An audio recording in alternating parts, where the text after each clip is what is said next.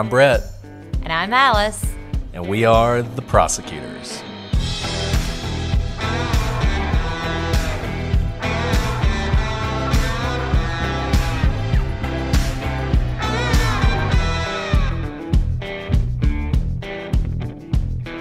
Today on The Prosecutors, did Michael Peterson kill his wife?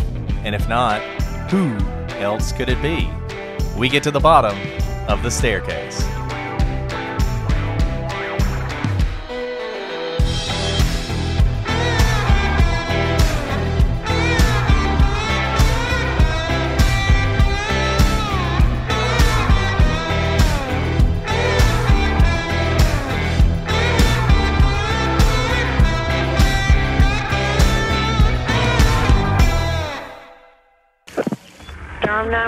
Where's your emergency? Oh, 1810 Cedar Street, please. What's wrong? My wife's had an accident. She's still breathing. What kind of accident? Down on the stairs. She's still breathing. Please Is she conscious? What? Is she conscious? No, she's not conscious. Okay, Please. how many stairs did you What? fall down? Huh? How many stairs? Stairs. How many stairs? Uh, Calm down, sir.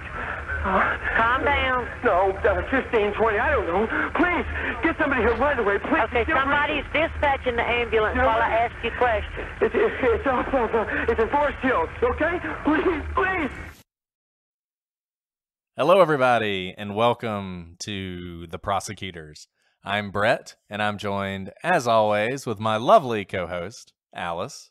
Hey, Brett, how are you doing today? Doing well, doing well. Happy to be back with you again today to talk about the Michael Peterson case. I'm so excited. Maybe because I've been binge watching The Staircase on Netflix, but this is just a fascinating case, factually and from like the trial perspective. So I'm so excited for us to get to talk about this. Now, Alice had not seen The Staircase, so I forced her to watch it basically all in a few days. So she's very well steeped in that documentary. Biased though it may be, we'll have to see how that affects Alice's view of this case. And we're going to be talking about this one for a while. This is definitely going to be a multi parter. We're going to use this case to talk about a lot of different legal topics, evidentiary rules, the role of the jury, how prosecutors and defense attorneys approach opening and closing argument. I mean, there is so much you can dive into in this case beyond the facts. And I know most of you have probably heard this story before and are familiar with this case, so I hope that we can bring something different with that. That doesn't mean all of you know this case, and that's one reason that we started today's show with the 911 call. I wanted folks who don't know this case to hear that call without any preconceived notions and really sort of evaluate that from you know a position of a sort of tabula rasa right? Without us biasing you in any way. And i think it was interesting Allison. we'll get to this uh, once we get to the trial that the defense essentially started with that 911 call and ended with that 911 call. And when we get sort of to that i'll be interested to know what you think about that and whether you think that was a good idea or a bad idea. Can I can I just say one thing about how excited I am about this case? So I love I think I'm not alone. I love Hamilton the musical. And I actually put on hold watching Hamilton the musical stream on Disney Plus to watch all of the episodes of The Staircase. I know that might not mean anything to you, Brett, but I think it will mean a lot to a lot of people out there and they'll understand just how great this case is. These are the sacrifices that Alice makes for the audience and the podcast. Now, I love Hamilton, so I don't know why you're throwing shade my way. Like I don't like Hamilton. I do. I like didn't say you didn't like it. It was just a. It was. Uh. It was like tearing myself away, uh, from a true love. So I'm just saying this. This is another true love. Hamilton's only like three hours long. I don't know why you couldn't just watch it in one sitting. Okay, I know people say we talk too much about our kids, but do you try to watch a three-hour movie with two kids? It's impossible. well, yeah, you put them to bed. This is like a you know eight fifteen to eleven thirty thing or something. I don't know. Uh, if only. I know you probably if don't have the energy to stay up. If only. So all these these people who complain about us babbling too long at the beginning you're not going to like any of that, but that's fine because I don't care. It's our podcast. So anyway, turning to the case. So we're going to take you all the way back to 2001. And it's the early morning hours of December 9th. And there's a desperate 911 call, the call that you just heard, that's made to the Durham police. A woman has fallen down the stairs and is seriously injured. Her desperate husband wants someone, anyone, to come to help her to save her life. He's so flustered, so frustrated with the 911 operator that he actually ends up hanging up on the operator. But then, as time is passing and help is still not arriving, he actually calls back a few minutes later, even more desperate. His wife had been breathing before, but now she's not breathing anymore. That man is Michael Peterson, and his wife is Kathleen Peterson, and she is at the bottom of the back stairway in their home.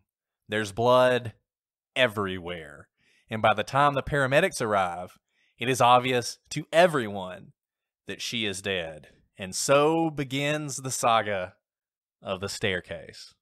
So we come to the night of her death. Kathleen and Michael were celebrating. See, Michael was an author, and he had found success at one point. Um, in fact, he had received an $800,000 advance for one of his books, and that was the money that paid for the mansion that they lived in. But his writing career had kind of stalled a little bit. Um, books weren't selling as much as we all understand. But now that same book had been optioned, and the expectation was that his once promising writing career can be revived. And honestly, it was about time. Because although Kathleen made a six figure salary as a successful executive at Nortel, money was tight. The economy was contracting after 9 11, and so the family was under constant economic strain. And Alice, I don't know if you know anything about Nortel, but you know, it, it the story of Nortel is really the story of the late 90s bubble popping. I mean, this was a company that was exploding that was going to take over the world of telecommunications. And at one point, Kathleen, through the stock options that she had in Nortel, I mean, she's looking at millions of dollars worth of stock. But by this point, with 9/11 having having happened and the dot com bubble having burst, those millions of dollars worth of stock options had fallen to like fifty thousand dollars. So oh, they're goodness. definitely they are definitely having some financial problems. But hey, you know this this option for the movie, I mean that could be huge, right? I mean the people of the country they're looking for positive stories and michael is a war hero and he's written this book about vietnam and then there's another book called like charlie two shoes or something like that or charlie one shoe i don't even know um, that's about world war ii and he's thinking hey if i can make a movie and like ben affleck's gonna star in this movie all of a sudden everybody's gonna be buying my books and i'll be selling new books and all of these money troubles will fade away So, what a great night, or so it started out as. And uh, Michael and Kathleen were celebrating. This was great for the family. Finally, you know, things were starting to turn for them. And so, to celebrate, they watched a movie, American Sweethearts. And that's what everyone thought they were the perfect couple. Michael Peterson was a graduate from Duke University, and after spending some time working for a defense contractor, he was so moved by what he saw that he joined the Marines and earned a silver and bronze star in Vietnam. But despite this heroism, a cloud would eventually descend over that service in Vietnam when Michael claimed to have earned Purple Hearts for combat injuries that he'd never had. He'd actually only been injured in a Jeep accident while in the military, and he may or may not have received a medal for that, but he was not injured in combat. And I think it's worth stopping here and just thinking about that for a second because it's really interesting, Michael's service in Vietnam.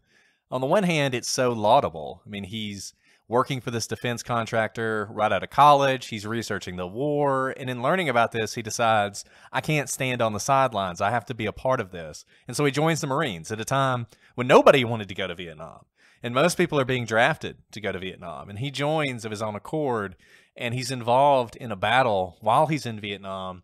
And what exactly happened in that battle is pretty murky. It's kind of controversial. There are soldiers who were serving under Michael who said that when his outpost was attacked in the middle of the night by the Viet Cong, that he had led them um, bravely and competently, and they'd been able to withstand the attack. And his radio operator, I believe it was, was shot uh, during this attack and actually died in Michael's arms. It's a it's a scene that he actually writes about in one of his books. And whatever happened or didn't happen at that battle, he did eventually win a Bronze Star and a Silver Star for his service in Vietnam.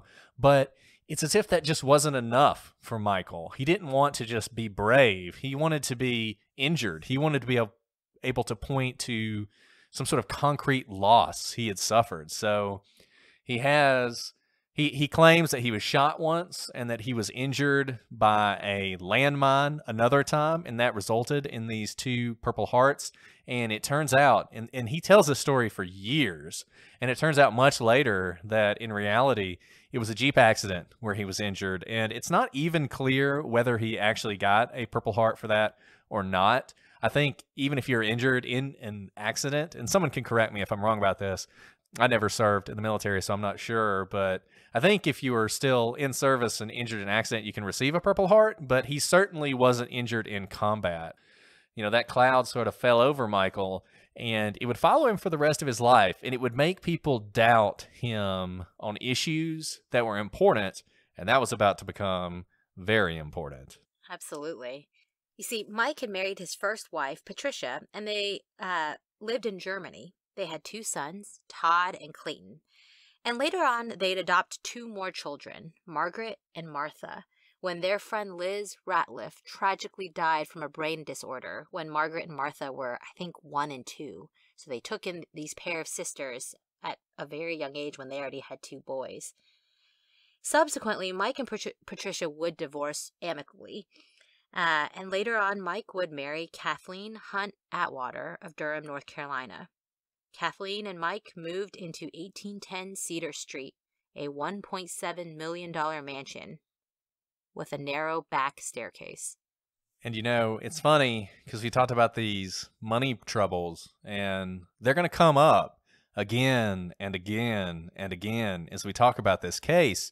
And I think it's hard for some people out there to understand how, if you're making, you know, $150,000 a year, how can you have money troubles? You know, I think the average median income in this country is still between forty and fifty thousand dollars. So we're talking three times that.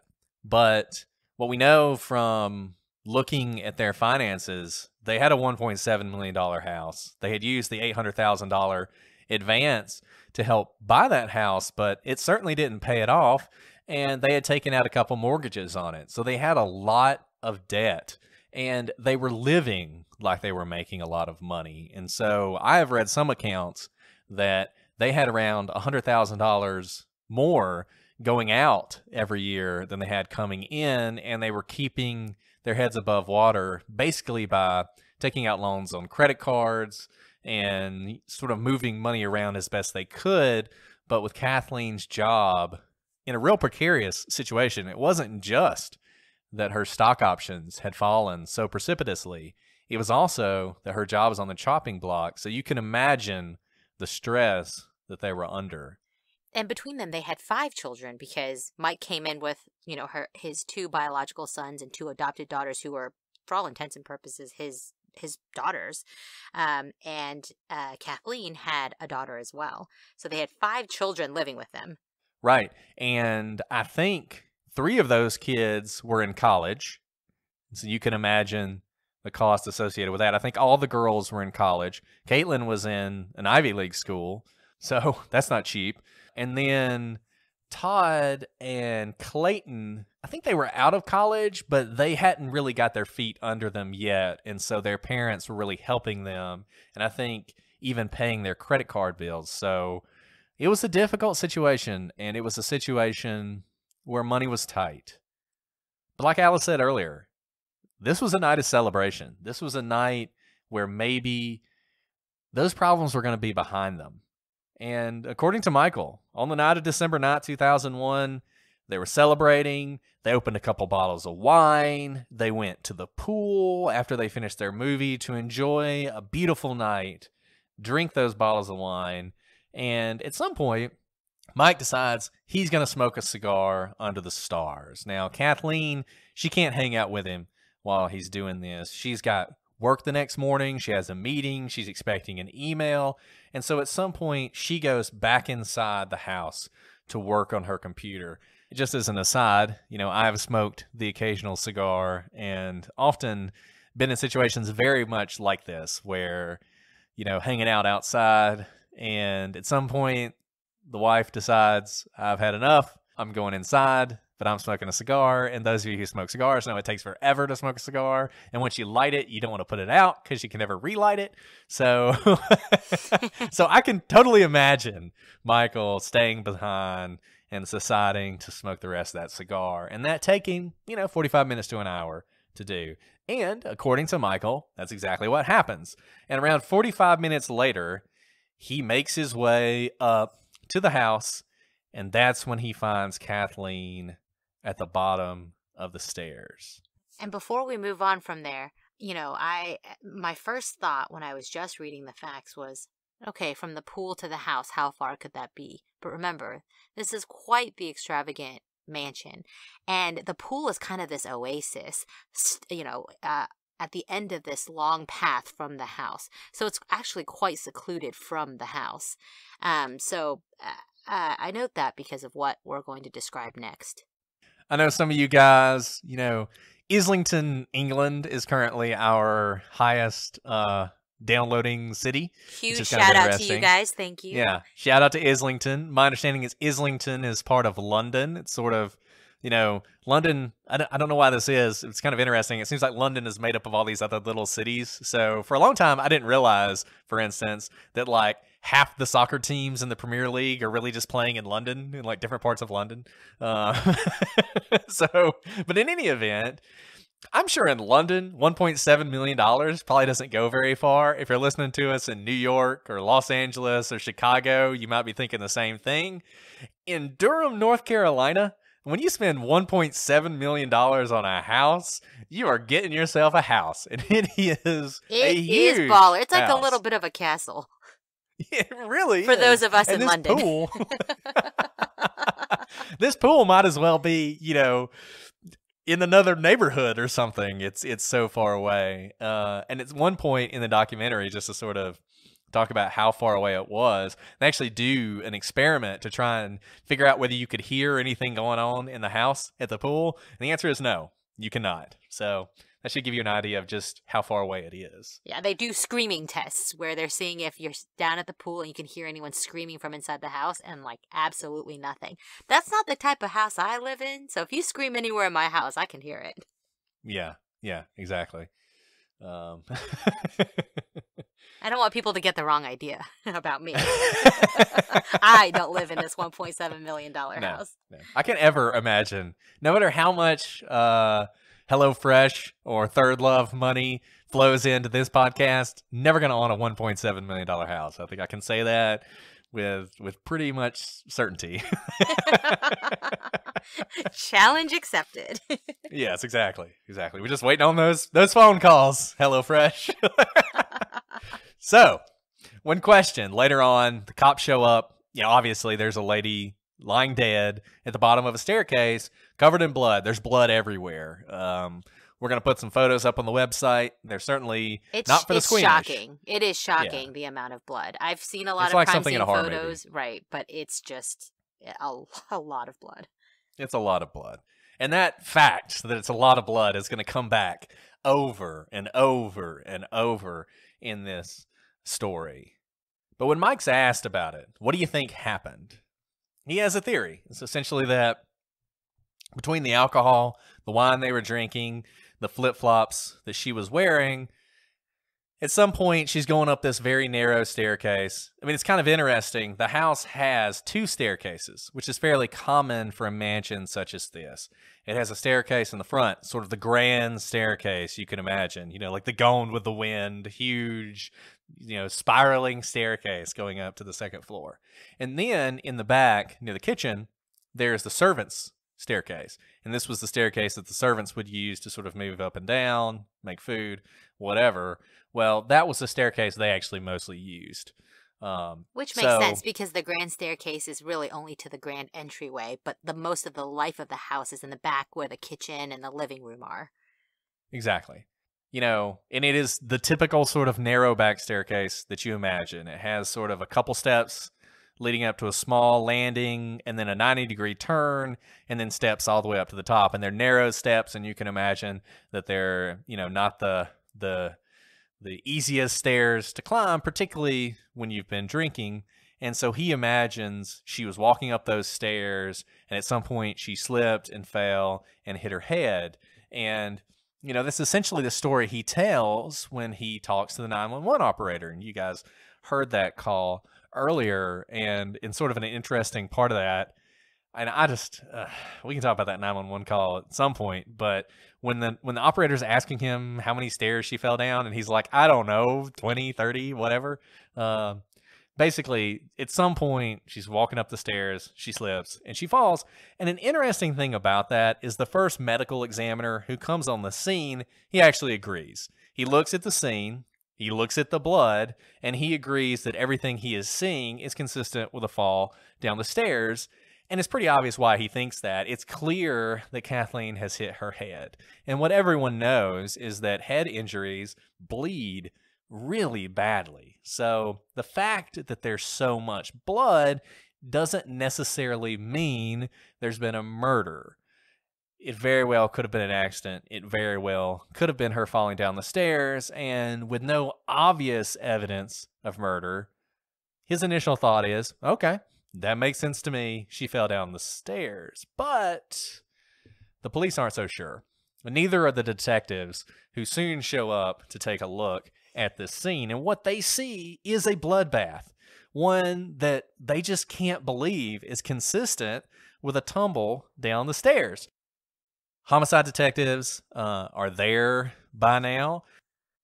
They're seeing something that isn't consistent to them with an accident, even though that first medical examiner on the scene, the first guy to really take a look at this, thought, yeah, I think it could be a fall. Homicide detectives thought differently. Have you seen have you seen serious head injuries before? Have you seen blood spew from a head?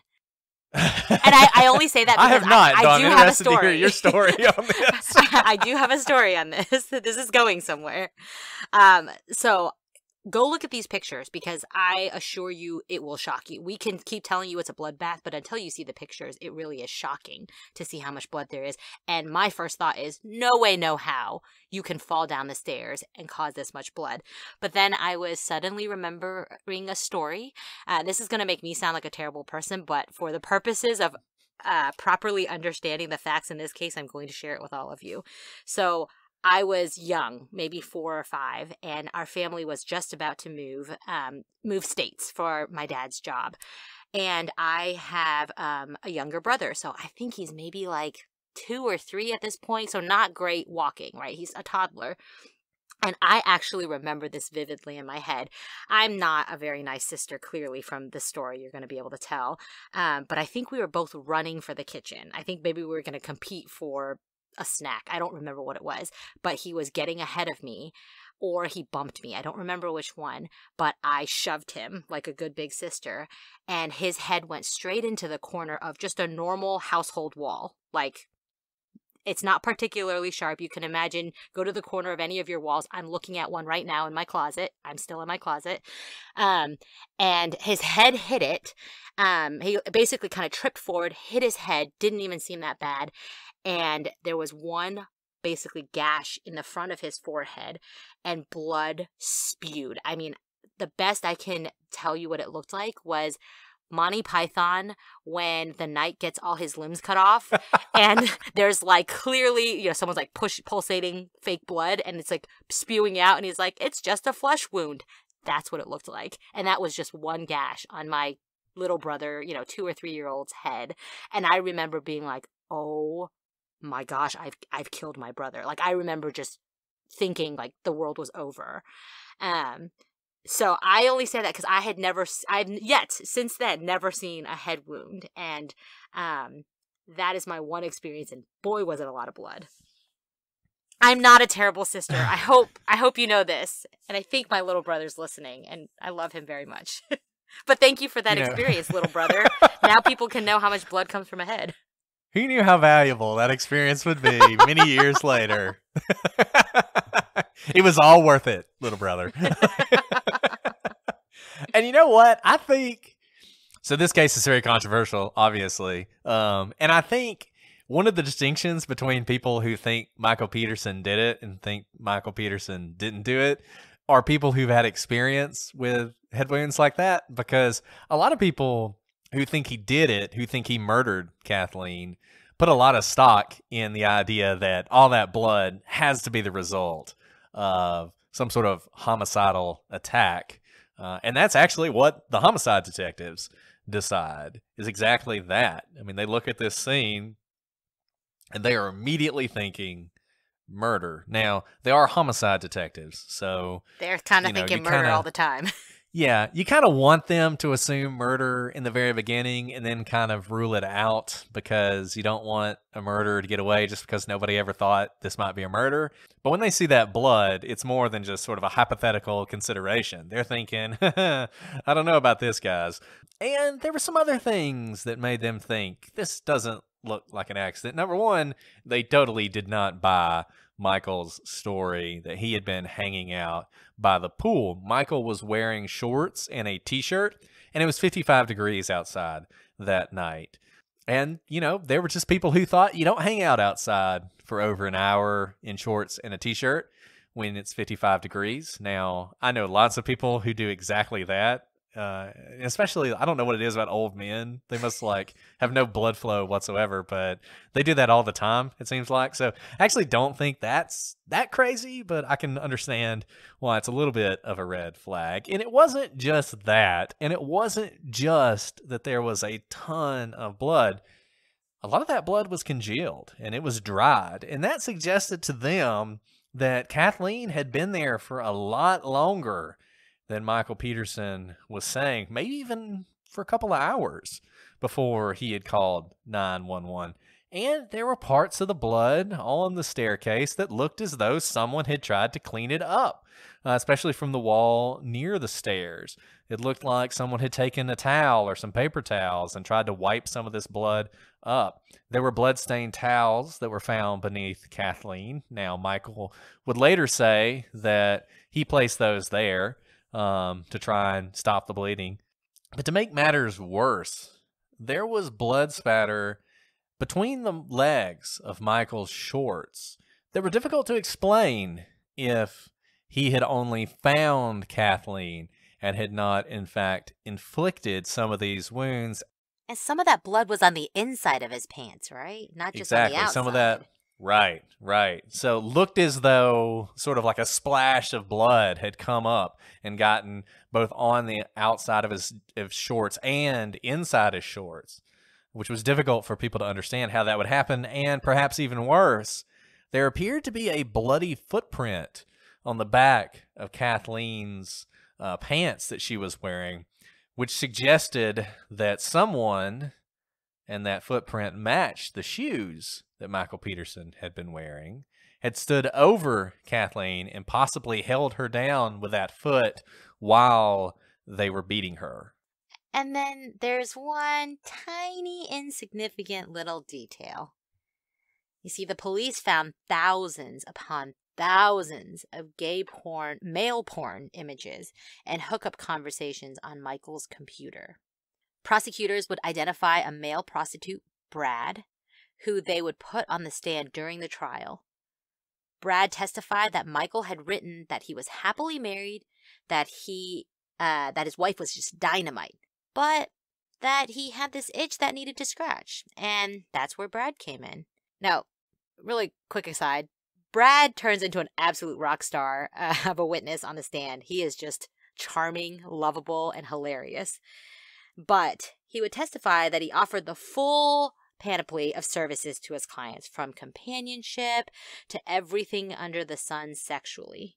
So, the prosecution really seizes on Brad's testimony and the conversations between Brad and Mike. The prosecution's theory was that when Kathleen used the computer that night, she stumbled upon images and messages that were shocking to her. The prosecution knew that Kathleen had left her computer at work, and that meant when she went inside from the pool to do some work, she'd had to have used Michael's computer that night. And she freaked out when she saw these male porn images and conversations with male prostitutes. And so she confronted Michael and told him she wanted a divorce. And that was when Michael, according to the prosecution, beat Kathleen to her death.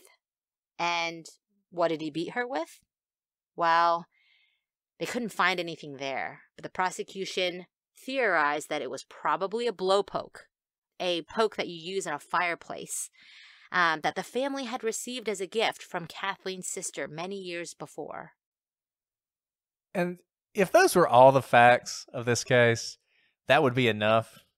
It didn't take the prosecution and the police very long to decide that this was a murder.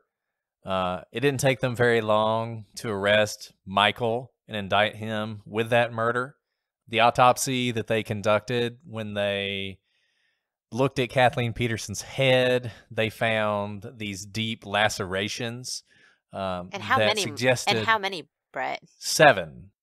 And remember, when I pushed my brother uh, into the wall by accident, I love him very much. It was one, just one gash, and it was not a laceration. Right. And they thought, no way.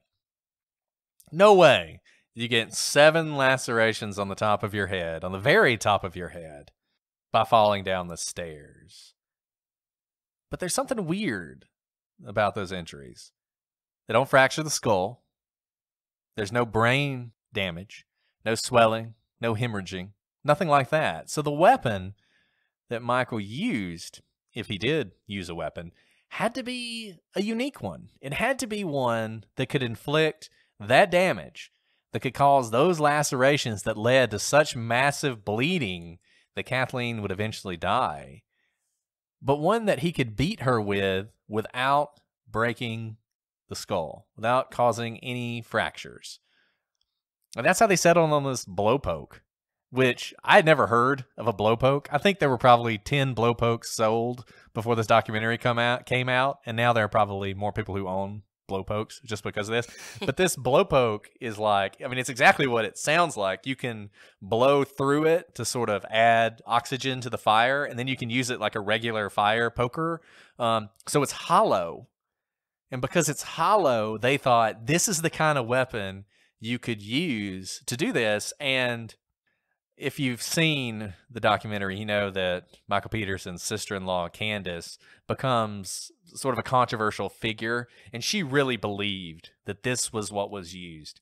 And she sort of pushed this on the prosecution like this was what was used to kill her because they couldn't find it. It was nowhere to be seen. And she gave this gift to her sister, and she was convinced she wouldn't get rid of it. She wouldn't do anything with it. So if it's not there, it's because Michael Peterson used it to kill Kathleen Peterson and then got rid of it. Now, what's interesting is Kathleen, uh, Kathleen's sister, somehow really liked blowpokes apparently because she didn't only buy a blowpoke for Kathleen, she bought one for many family members, and her sister was able to basically find uh, one of these blowpoke presents she had given. So the prosecution had essentially what Kathleen's sister said was a replica of what was used to kill Kathleen. This is very bizarre, by the way, everybody. um, to have a replica of a probable or theorized weapon to be used in a crime that you're not even clear about. This is so bizarre. like they, man, they hang their hat on this blowpoke. They open, in fact. Let's just go ahead. Let's just go ahead and talk about that. Like we haven't even we haven't even got through all the facts yet, but let's just stop and talk about the blowpoke because we're here at the blowpoke, and I think it is really interesting. Look, if you're prosecuting a murder case, you want a murder weapon. You want to be able to tell the jury this is how they did it, right? I mean, that's a key part of it. Especially, especially when the defense is essentially that there is no murder, that it was an accident. You really need a murder weapon in that kind of situation. And they don't have one. They can't find one. They can't find anything that even resembles a murder weapon. So they key on the thing that's missing. They key on the thing that's not there. They key and it and you know, it just so happens that the thing that's not there also has the ability they think to cause these kinds of wounds. And so like Alice said, they lead with this. In their opening statement, they got the blowpoke and they're saying Michael Peterson killed his wife. Now, he, they don't say with this blowpoke because it's obviously not that one, and they don't even say with a blowpoke, but they imply that. They essentially say something like this. It had to be like this, right? But for all intents and purposes, they're telling that jury they used this, or he used this blowpoke. And Alice that is so weird to me. That is, That just here- here's the thing. It is so risky. So really quick on openings. Openings are not supposed to be argumentative. Openings are supposed to be a preview of the facts so that you situate the jury um, for the facts that are going to come because you can only introduce facts through witnesses in a trial. And so you don't get to sit there and tell a narrative and story tell the way we're storytelling to you all. The only time you get to story tell is in your opening and your close. And so in your opening, it's not argumentative because you haven't yet introduced anything into evidence, but you're going to tell the jury what you plan to tell them. And we are all, we are told this from day 1 of law school. You better deliver whatever you promise to the jury in your opening statement. If you are not sure if you can introduce it as evidence, let's say you know that there's going to be uh, a motion to keep out some important piece of evidence, if you don't know for sure it's going to come in, you better not put it in your opening statement. Now, for them to lead with this weapon that they're not even sure is the weapon and to not even have the actual blow poke to say something like this is incredibly weak storytelling and also incredibly risky. Because you're not even saying he killed her with a weapon.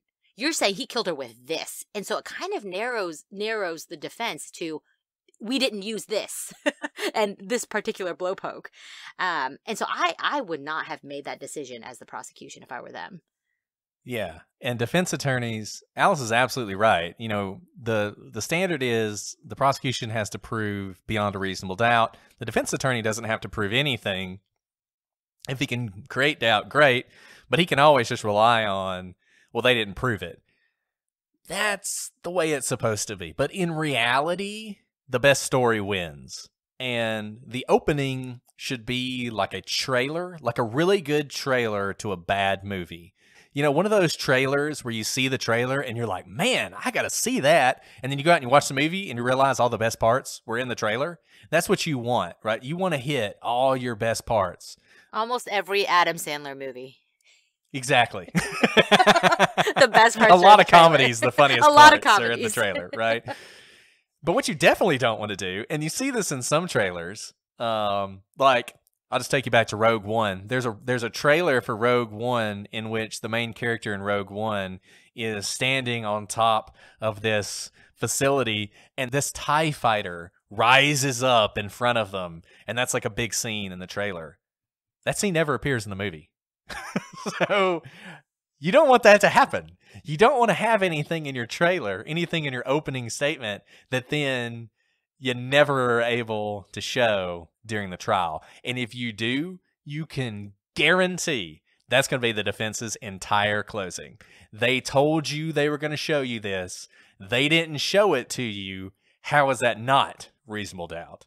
Right? So the opening is so critically important, both to tell the story, to engage the jury, and to lay out what you're going to prove and how you're going to prove it. And if you say it, you better follow up on it. And you know, Brett, you just said that um, the defense never has to prove anything, but in reality, the best story wins. And that's so true in this type of case. This type of case is potentially a murder, right?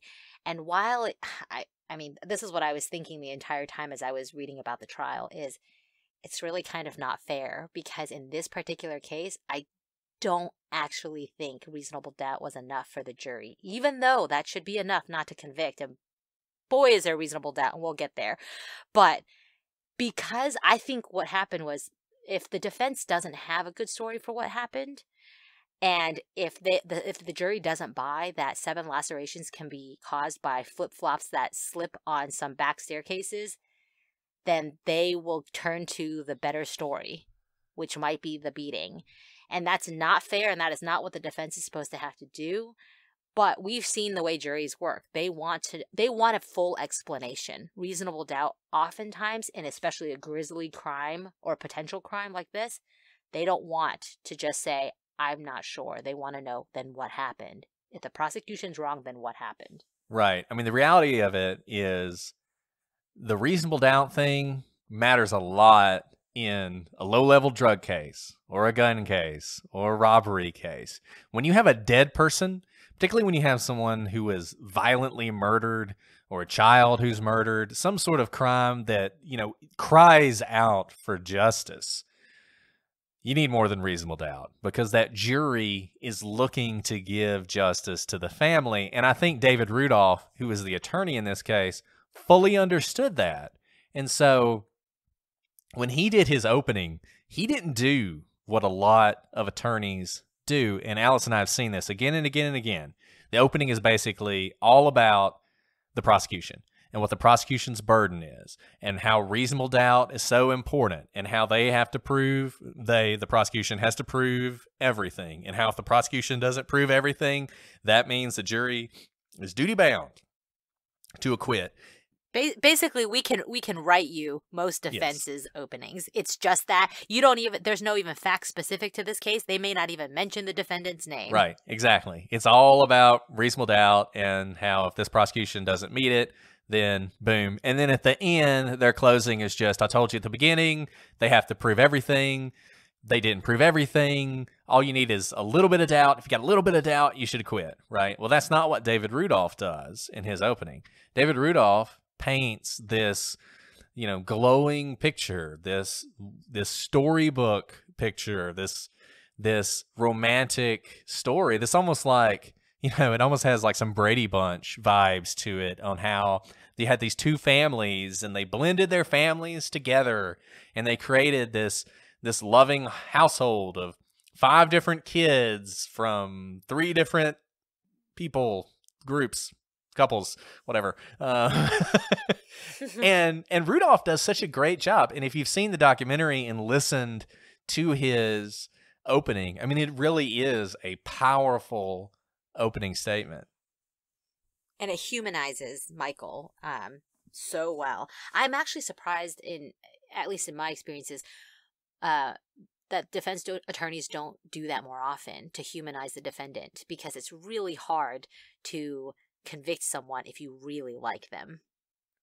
Even though it's not supposed to be, but we're all humans, right? If you really right. like someone, you just you're rooting for them. You're like they can't be that bad, right? If they're actually good in all these other parts. Yeah, a good lawyer knows the standard, but he knows people better and human psychology and group dynamics. And it's great to have reasonable doubt on your side, but it's better to have the jury on your side. It's it's better to have the jury like you and like your client. Now look, what Rudolph does has some dangers. It does open the door for the prosecution to really hone in on Michael and the kind of person Michael is. And we're going to talk about this later because it's controversial, but all this stuff about the gay porn and the extramarital relationships with men and say the picture that Rudolph just painted for you that's the picture Michael Peterson Michael Peterson wanted to show to the world but it's not the picture that Kathleen saw and it's not the picture that she saw that night that night she saw the real Michael Peter Peterson. And this whole storybook facade collapsed and the monster was revealed and that's when he killed her, right? And that's what the prosecution does, albeit less eloquently, I might say. Uh, that's what and, they try. You know, Brett, you just mentioned something that I think is really powerful too. We're, we're basically eh, we're giving you all the unwritten rules of being a trial attorney here. You are so right that not only um, is it important for the jury to like your client, the jury has to like the attorney. Whether that's the prosecution or the defense, you can get so far for your client if you are lovable, likable, trustworthy to um, the jury. And in this case, I think Rudolph did an incredible. I mean, he seems like a really nice guy. He seems very genuine, and that's what the jury saw as well. Um, and he seems like a very good attorney because he is able to read and connect with jurors so well. And the prosecution, I mean, look, they have an interesting role to play here because, in some ways, they are the sort of avenging angels. They're the people who are there for Kathleen Peterson. They're the people who have to fight for justice for her. But man, they come off bad. I mean, they are not likable at all. And I get it. You know, we're looking at this through the lens of this documentary, which is obviously very pro Michael Peterson. And I'm sure editing had something to do with this. But the parts we saw, they don't make me like the prosecution. They seem very bullying, right? And we we've already oh, they are so bullying. Well, we've already said this before. Um, people already view the prosecution as having the upper hand, as being people who want to grab power. And so you don't want to come in looking like the big man with their sharp elbows out to kind of quash the little guy. And that's how they come off. They don't seem, they look like they're there to, to prosecute and convict Michael Peterson. They don't seem like they're there for justice. And you may be saying to yourself, well, isn't that the same thing? It is and it isn't. You know, if Michael Peterson did this, then yes, of course, justice is him being convicted, but he's still innocent until proven guilty. And you really want the jury to believe that you are there on the side of justice and that you believe Michael Peterson did it because the evidence said he did it. You think he did it for the same reason you want them to think he did it because of the evidence. Just look at the evidence, right? It's not about how you feel personally, it's not about some vendetta. You're not angry or mad. That's not how we decide cases in this country. And they just come off like like they would do anything to convict this guy and, you know, reasonable doubt and alternative evidence be damned. And one one last thing, and I and I say this because I'm not a person with particularly good poker face, and of course, like you said, the documentary probably edited so they captured the worst expressions from the prosecution at the most inopportune times. But we, you know, as attorneys, you can't seem surprised in court, and you cannot um, make kind of you can't be the peanut gallery, right? You can't be like hooping and hollering when someone is making a point that you agree with. You have to be completely stoic because your job is to argue the facts and the law, not to sway the jurors or the judge with your snide remarks or your snide sneering. And unfortunately, I think the prosecution just doesn't have a good poker face and they do a lot of like the eyebrow raising and they're like, oh yeah right sort of looks um, and i'm not saying that i'm perfect at that at all in court um, and when you're in court when you're in front of a jury for five months you know it can be really difficult but that is your job to be professional and to not make it personal or emotional.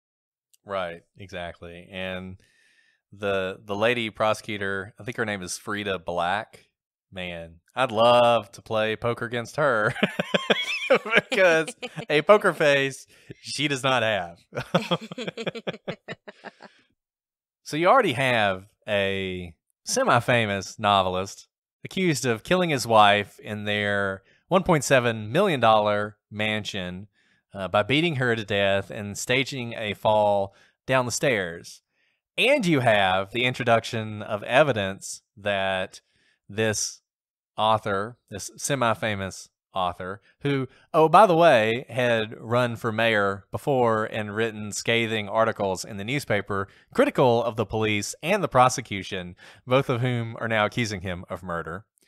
You might think, wow, that's a crazy case. It can't get any crazier than that. And then it does.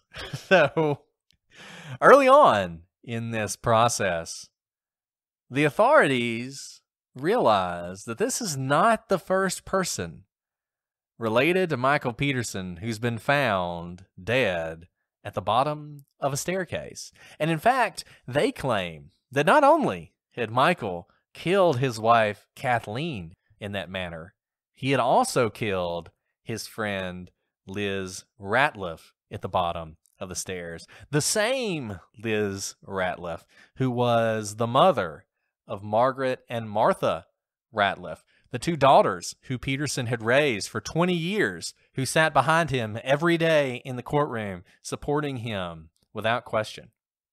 It turned out that on November 25th, 1985, when Michael was living in Germany and married to his first wife, Ratliff turned up dead at the bottom of a staircase, just as Kathleen Peterson did 16 years later. Now, up to this point, everyone believed that Ratliff had died of a brain hemorrhage. Witnesses disagreed on whether or not Ratliff's death was the bloody mess that Kathleen's had been, though there were certainly people present when Ratliff was found who said there was plenty of blood in Germany that day. Can we just say, though, that I mean, I, don't want this to be lost. The prosecution is claiming that he had something to do or that he killed Liz Ratliff. But then remember what he does for the next 16 years. He adopts and raises Liz Ratliff's daughters.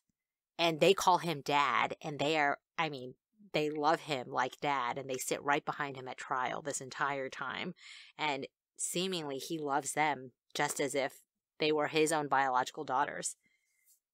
And no one believes that Michael Peterson is innocent more than those two girls. Not his sons, not his lawyer, not his brother, not his ex-wife. In fact, you can tell. In fact, when he says, you know, before the end of trial, uh, before the verdict comes back, he's talking to the cameras and he says, "I'm going to be okay, but you know who's not going to be okay if I get convicted? Margaret and Martha. He doesn't mention Right. his other, you know, children. He's talking about them. They're the ones that are going to be devastated if he's convicted. This is how strong their bond is. But that bond is tested, at least in the eyes of the prosecution, by what they find when they exhume Ratliff's body in 2003, nearly 20 years after she died. Wait, before before we talk about that, how the heck did the prosecution get her body exhumed? Because of course we're going to talk later about whether this evidence will be allowed in trial anyways, but okay, let's talk about exhuming a body. It's going to be very public. There can be cameras. You're going to be digging up at a cemetery, and in fact, there are camera crews watching the exhuming of this body. How I'm asking you, Brett, how how did the prosecution get this to occur? And this is done, by the way, only a couple weeks before Michael Peterson's trial begins. So, you know, I wouldn't I wouldn't accuse prosecutors of doing something to create a media circus that might taint the jury pool, but I'm go ahead and say that they did this to create a media circus that might taint the jury pool. And if you doubt me on that, there is a scene in the documentary when they are discussing this incident and whether or not this incident should come in. And David Ratliff says, I need to know if this incident's going to come in because I need to raise it with the jury in my opening statement. I can't have them surprised. And the prosecution says, and I could not believe this, says it would be malpractice for him not to raise it, whether it's going to come in or not, because it's been all over the news. And I just thought, That is wow. if if I were a judge and someone said that in my courtroom, boy would I slam them because I would say you made this a media circus. You knew exactly what would happen and it's not fair for you to then turn around and say because it was all over the media of your doing, you now have to address it and therefore it comes in. Talk talk about like chicken or the egg. David Rudolph, he's in such a difficult place because, on the one hand, he wants this trial in Durham. He wants it where he can talk about the fact that Michael Peterson was a critic of this prosecution and the police. And that's something that the Durham jury will connect with. And they'll connect with Michael Peterson as a person who's a part of their community. He wants that. That's not always the case. A lot of times, the defense wants to move something out of the area but he doesn't want this. And the one thing he could do at that point is stand up and say, well, then I want to move this trial. I don't want it here. And he just said why? Because he's tainted the jury pool with all of this media attention on this thing. But he can't do that. And so he's really in a difficult place.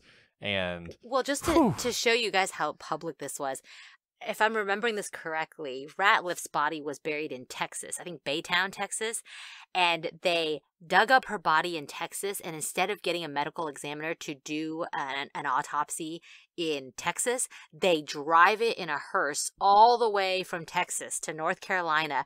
And they even have guards stand outside of the hearse when the drivers take the night off to sleep. I mean, it is just a circus. Yeah, and they try and make some chain of custody argument. That's why they're doing that. But it's totally for show. Um, in any event, they do examine her. They don't have her examined by a sort of neutral party in Texas. They have their medical examiner look at it. And not surprisingly, despite the fact that 16 years before, um, her death was ruled an accident, a result of a, of a um, cerebral hemorrhage. The medical examiner in Durham looks at her and says, Nope, this was a murder.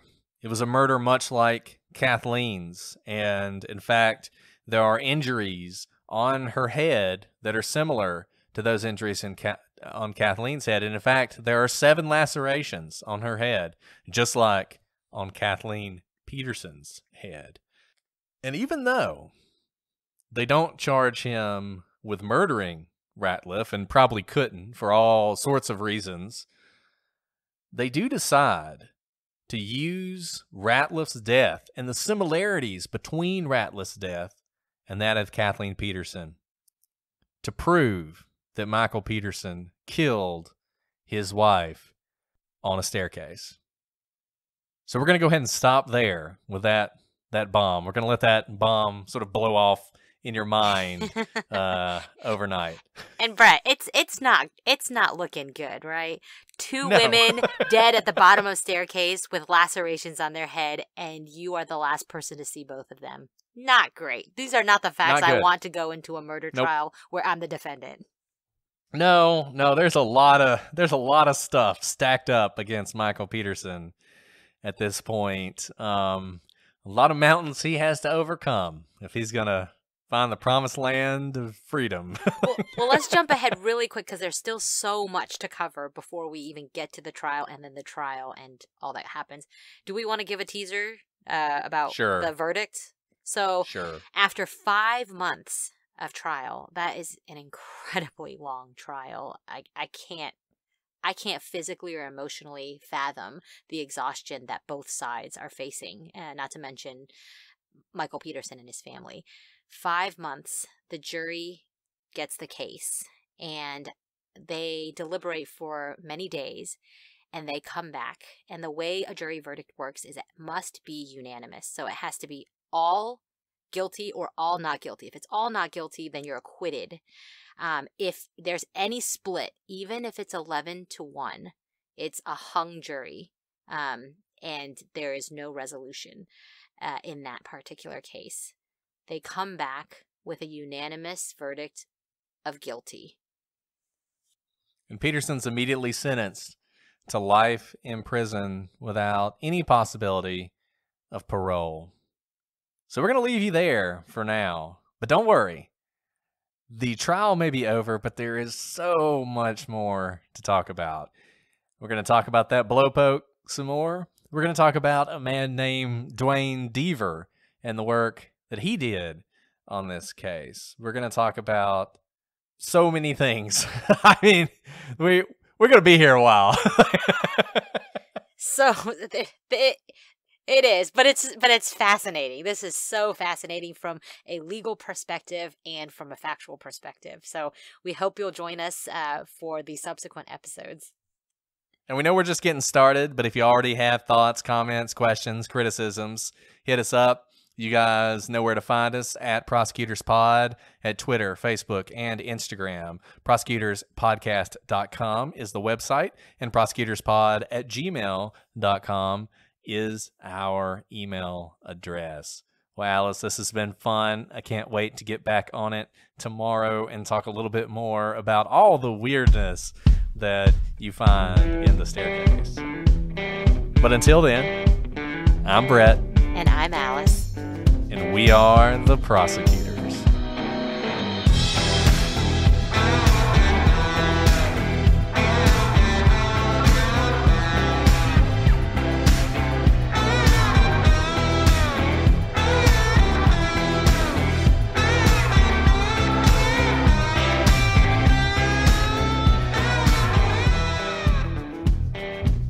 I tried really hard not to laugh. I tried really hard. That was a really good pun. I love puns. Okay, I'm sorry. Oh, I'm glad. We got so many five star reviews. I'm so happy. I know. Nice. Isn't it so ha- like I feel so validated. Uh, it's better than one star reviews. Wow. Which I'm sure we'll get some of those. We